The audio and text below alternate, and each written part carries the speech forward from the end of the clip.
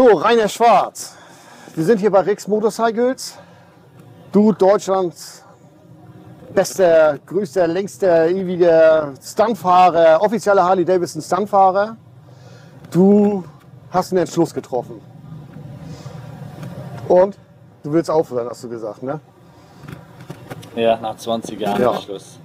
20 Jahre Ära. Und äh, also ich, äh, was, ich glaube, ich kenne dich seit 2004 oder 2005. Da habe ich deine ersten Shows gesehen und da war die Harley-Gemeinde ja auch noch viel kleiner, privater und das wuchs ja jetzt auch mit den Medien nachher immer mehr, immer, du wurdest auch viel populärer. Ne? Aber trotzdem, du hast ja neben diesem Stuntfahren äh, ja auch ein ganz normales Leben, sag ich mal. Du bist, glaube ich, Landwirt ne? in ja, Bayern. Korrekt. Unter der Woche bin ich Landwirt und am Wochenende Standfahrer. Ja. Und wir können ja mal, äh, ich meine, das ist, wird ja wieder sicherlich eins deiner letzten Interviews sein, sag ich mal, was wir jetzt hier so machen. Wir können ja ruhig mal ganz weit vorne anfangen. Ne? Äh, wo hast du denn mit den ganzen Sachen überhaupt mal angefangen? Also angefangen hat es mit dem Moped fahren, bin halt immer auch schwarz gefahren, so wie ich heiße. Mofa, Moped, egal, alles Ja. Hinterrad gefahren und immer das Rad hat hinten immer durchdrehen müssen. Und so war eigentlich der Anfang. Wollte das aber nie werden. Ich wollte nicht Standfahrer werden, Mhm. das war kein Ziel von mir. Das hat sich einfach so ergeben. Ja. Und ich glaube, der Einstieg über Buell, ne?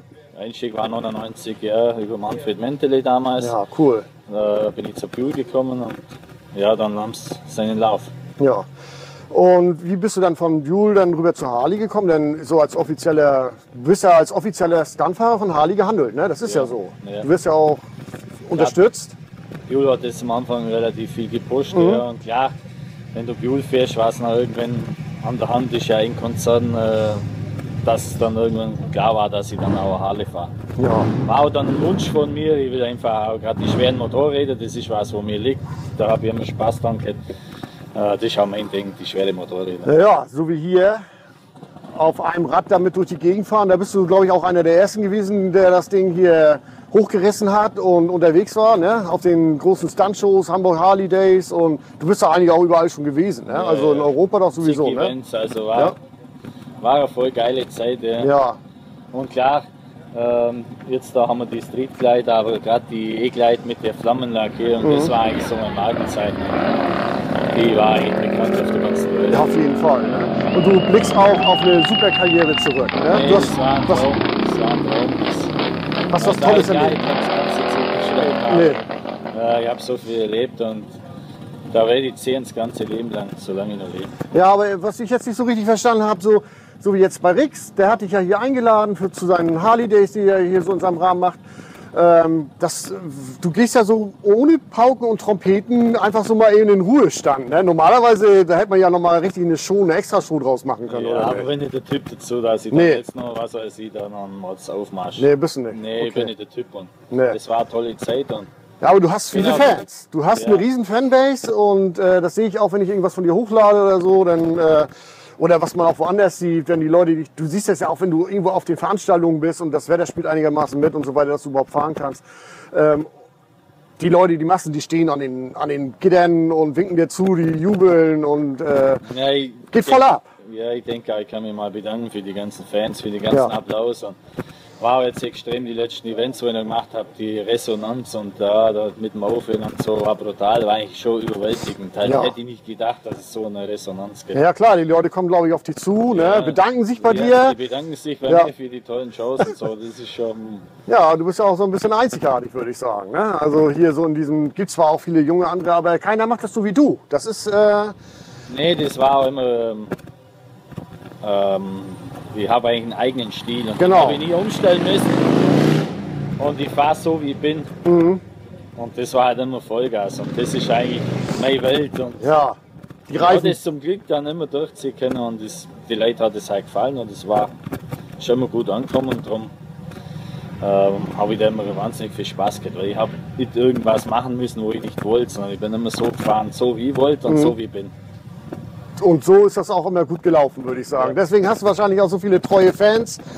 Und also ich bin dankbar, dass du mir hier nochmal so ein kurzes Statement gegeben hast. Und eine Show machst du noch, wenn das Wetter mitspielt. Ja, das kriegen wir noch hin vor dem Regen. Ja, gut.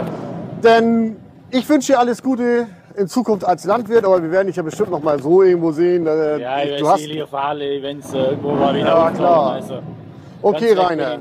Ich wünsche dir alles Gute. Ne? Und ich sag mal so, für die Fans, die du so alle hast, einfach mal danke. Und du weißt, ähm, tja, das Leben geht ja auch immer so weiter irgendwie. Ne? Ja. Ja. Okay, vielen Dank. Ne? Danke auch.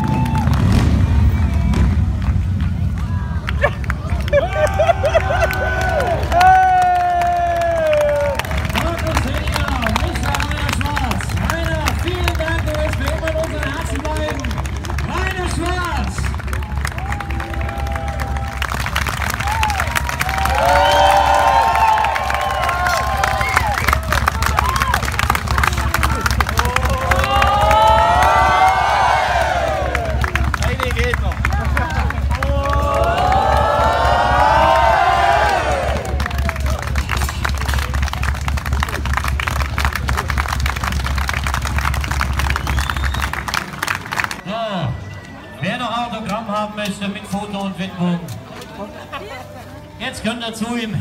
Jetzt fällt ein bisschen Last von ihm ab, jetzt geht's auch der ansprechbar. Kommt rein, die zwei geben noch ein paar Autogramme. Wir machen uns dann bei der Arion Tour Geschichte so langsam fertig. Dass wir dann im Anschluss, wenn der Rainer seine Autogramme gegeben hat, die Zeit Victor auf Tour gehen.